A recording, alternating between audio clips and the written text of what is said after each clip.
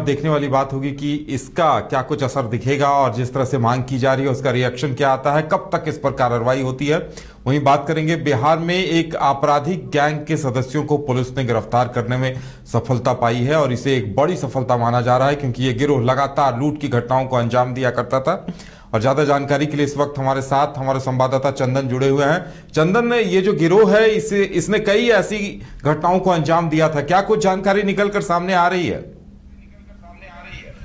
जी देखिए, बिल्कुल, ये एक बड़ा गिरोह है और ये जो है, चुनाव के बाद जो है परंपरा शुरू हुआ था और लगभग अभी तक सत्रह घटनाओं को जो है ये अंजाम दे चुका है और जैसा कि सिटी एसपी भारत सोनी ने बताया कि ये गांधी मैदान कदम कुआँ कंकड़बाग पत्रकार नगर तमाम थाना क्षेत्र में जो है लूटपाट की घटना करता था। और जैसे ही कोई यदि मोबाइल से सड़क पर पार कर रहा है, मोबाइल से बात कर रहा है तो बाइक से आते हुए ये झपटा मारते थे और मोबाइल लेकर फिरार हो जाते थे। चैन भी इस तरह की झपटा मारते थे तो बिल्कुल पुलिस का दावा है कि इस तरह की जो गैंग है, चूँकि पाँच लोगों की ये गैंग थी, जिसे पटना पुलिस ने आज गिरफ़्तार किया है तो पुलिस का दावा है कहीं ना कहीं इन, इस तरह की घटना जो है, उसमें कमी आएगी। जी, उदय। बिल्कुल, एक तरफ़ देखिए, अपराधी भी अपनी दस्तक देने से पीछे नहीं हट रहे। एक के बाद एक घटनाएँ सामने आ रही है, लेकिन पुलिस भी लगता है अपना काम मुस्तैदी से कर रही है। तभी ऐसे गिरोह पर नकेल कसने में कामयाब भी हो रही है। जी, देखिए, बिल्कुल, चूँकि अपराधियों पे लगाम लगाने को लेकर पटना में स्पेशल एस ड्राइव चलाया जा रहा है। और यही कारण है कि लगातार सभी थाना जो है सड़क पर उतर उतर कर जो भी जो सीसीटीवी फुटेज है, जो एफआईआर है, तमाम अपराधियों की गिरफ्तारी के लिए लगातार छापेमारी हो रही है।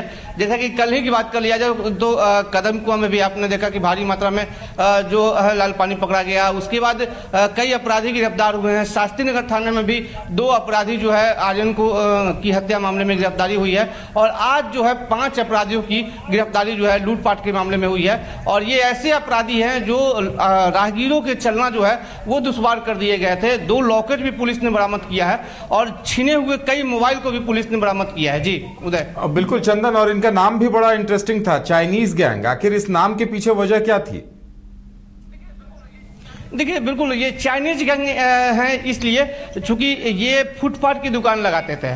चाउमीन वगैरह ये लोग बेचा करते हैं। और इसी की आड़ में, चूँकि इनकी इनकी लत जो है नशे की है, सूखे नशे की लत को पूरा करने के लिए लूटपाट की घटना को अंजाम देते थे।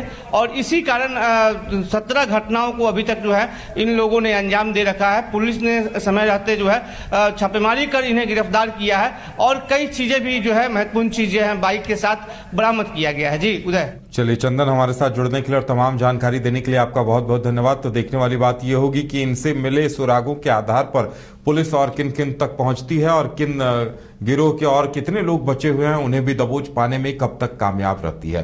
फ़िलहाल इतना ही हमें दीजिए इजाज़त और आप देखते रहिए न्यूज़ बाइस को। नमस्कार। कमाल करते हो जी बच्चे घूमने की इतनी जिद कर रहे हैं और तुम हो कि तुम्हें फुर्सत ही नहीं मिल रही। अब इतनी गर्मी में जाए तो जाए कहाँ?